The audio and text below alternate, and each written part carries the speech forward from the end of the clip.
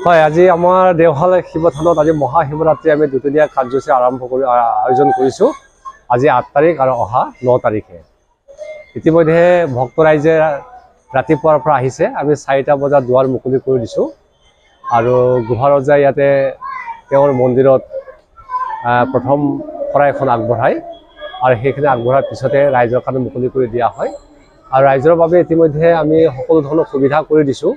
যে বিজুলী পানী আৰু দৰ্শনৰ বাবে সকলোবিলাক সুবিধা ঠিক ঠাক কৰি দিছোঁ। আৰু ইতিমধ্যে লাডু নিচিকাকৈ ৰাইজে আহি আছে।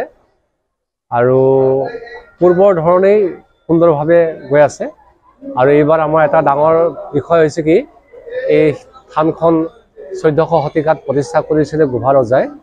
আৰু তেতিয়াৰ পৰা সুদীৰ্ঘ দিন ধৰি আমি মাটিখিনি পোৱা নাছিলোঁ। আৰু এইবাৰ অসম চৰকাৰে আমাক সৌ সিদিনাখন ষোল্ল বিঘা মাটি আমাক এই চাৰ্টিফিকেটসহ প্ৰদান কৰিছে। আমি আৰু বৰ আনন্দিত হৈছোঁ। ধন্যবাদ জ্ঞাপন কৰিছোঁ। অসম চৰকাৰৰ ডক্টৰ হিমন্ত বিশ্ব শৰ্মা ডাঙৰীয়াক আৰু লগতে আমাৰ স্থানীয় বিধায়ক পীযুষ হাজৰিকা ডাঙৰীয়াক ধন্যবাদ জ্ঞাপন কৰিছোঁ। আৰু এই চৈধ্যশ শতিকাৰ পৰা যি ধৰণৰ মন্ত্ৰপাঠ কৰা হয় তেনেধৰণে আমি মন্ত্ৰপাঠবিলাক আমি কৰি থকা হয় ইয়াতে। আৰু এটা সময়ত গোভা ৰজাই ইয়াত নৰবলিও আছিলে। আৰু গোভা ৰজাৰ পুত্ৰকে বলি দিয়া লোকৰ হোৱাৰ কাৰণে গোভা ৰজাই শপত খালে। যে আজিৰে পৰা ইয়াত বলি বা নৰবলি প্ৰথা বন্ধ হওক তেতিয়াৰ পৰা বন্ধ হ'ল আৰু ছাগলী দিয়া প্ৰথা চলি থাকিলে। আৰু সেইকাৰণে গোভা ৰজাই শপত খালে তেতিয়া যে মই নিজে প্ৰতিষ্ঠা কৰা মন্দিৰত নিজে নিজৰ পুত্ৰকে বলিদান দিব লগা হ'ল গোটেই প্ৰৱেশ নকৰে। সন্মুখত মন্দিৰত প্ৰৱেশ কৰিছে। গতিকে এনেধৰণে সুন্দৰভাৱে চলি আছে। পিছত বলি নৰবলি প্ৰথাটো জয়নগৰলৈ স্থানান্তৰ কৰা হৈছিলে।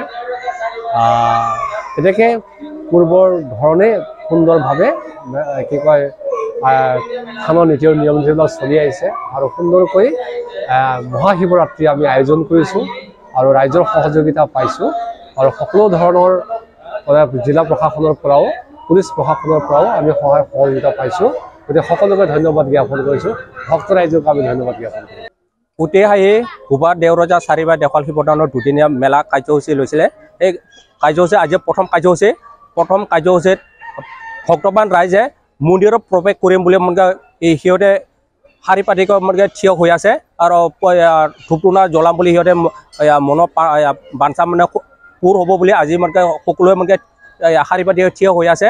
আজি এই আমাৰ মানে দুদিনীয়া কাৰ্যসূচী সুকলমে মানে পাৰ হ'ব বুলি আমি আশা ৰাখিছোঁ।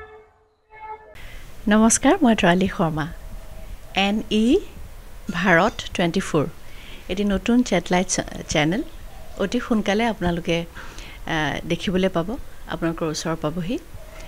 মই এন ভাৰত টুৱেণ্টি ফ'ৰৰ সকলো লোকে শুভেচ্ছা জ্ঞাপন কৰিছোঁ। আমাৰ সাংস্কৃতিক জগত সামাজিক ৰাজনৈতিক সকলো খবৰবোৰ আমাক সঠিকভাৱে দিব। তাৰে কামনা কৰিছোঁ। ধন্যবাদ।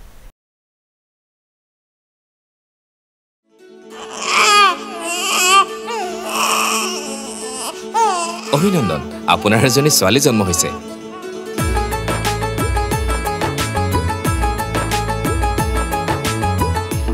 সিপাহিয়ে জনি পড়ি।